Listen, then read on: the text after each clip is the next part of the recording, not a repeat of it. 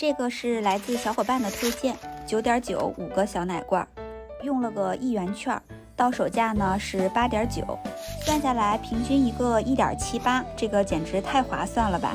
其实我是有这套盆子的，只是因为它太便宜了，就跟风买了它。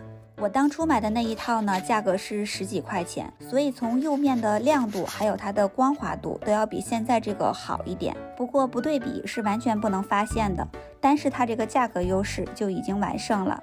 外口径是六，高是六点五，种单头啊或者是老桩都是非常适合的。这个尺寸的花盆对我的阳台来说是足够大了。这个釉色呢，属于是既亮丽又清新的，我觉得符合各种风格的肉肉。但是整体来说，我觉得种带杆子的老桩应该会更适合一些。